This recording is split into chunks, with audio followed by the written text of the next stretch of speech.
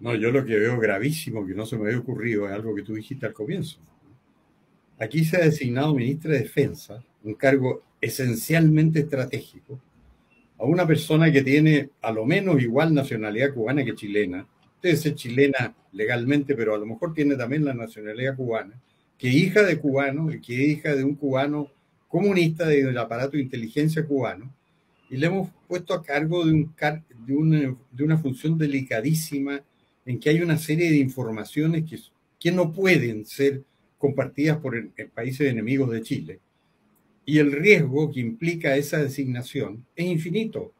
Yo lo encuentro ahora que no se me había ocurrido, pero lo encuentro inverosímil que Boric la haya designado ministro de Defensa. O sea, es peligroso, ¿no? Designar un agente de Fidel en, el Ministerio de Defensa es una cosa suicida. No sé cómo nadie lo ha mencionado, y te lo agradezco que me lo hayas llamado la atención porque no había pensado en eso. Yo había pensado en lo absurdo que fuera veterinaria y bióloga y ministra de Defensa y hija de un eh, agente de inteligencia cubano y, y, nieta de Salvador Allende. En ese sentido lo miraba como la imagen. Pero más allá de la imagen está la realidad. La realidad es que ella es medio cubana, simpatiza con el régimen de Cuba y está a cargo de una función delicadísima del gobierno chileno que tiene un carácter estratégico como ninguna, que es el Ministerio de Defensa.